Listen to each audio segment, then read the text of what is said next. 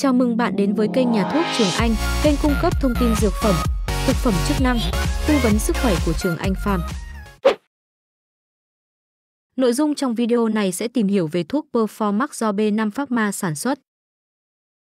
Quý độc giả thân mến, để sử dụng thuốc an toàn và hiệu quả, hãy tuân thủ đúng theo chỉ định từ bác sĩ hoặc tìm hiểu hướng dẫn sử dụng an toàn từ dược sĩ. Không tự ý sử dụng thuốc hoặc sử dụng thuốc bị chống chỉ định, vì điều này có thể gây hại cho sức khỏe. Nếu như bạn quan tâm đến thông tin về Performax cũng như cách sử dụng sản phẩm thì hãy theo dõi hết video mà Trường Anh chia sẻ dưới đây nhé. Thuốc Performax có thành phần là glucosamine sulfate 250mg, chondroitin sulfate 200mg, được bào chế dưới dạng viên nang.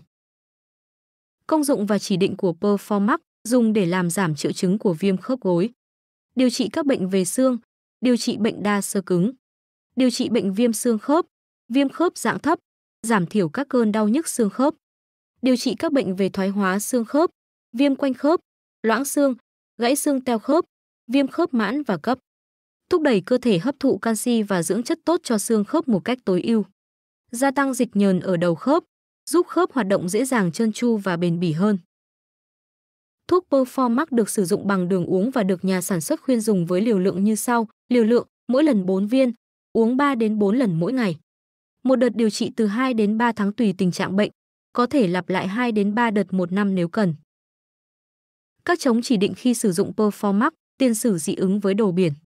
Phụ nữ có thai, phụ nữ cho con bú, trẻ em, trẻ vị thành niên dưới 18 tuổi do chưa có số liệu về độ an toàn và hiệu quả điều trị. Một số lưu ý và thận trọng khi dùng, bệnh nhân tiểu đường nên theo sự hướng dẫn của bác sĩ khi dùng thuốc hàng ngày. Một số tác dụng phụ mà người bệnh có thể gặp phải khi sử dụng Performax, đầy hơi, tiêu chảy hoặc buồn nôn. Tương tác của Performax với các thuốc khác khi dùng chung với heparin có khả năng làm tăng nguy cơ chảy máu.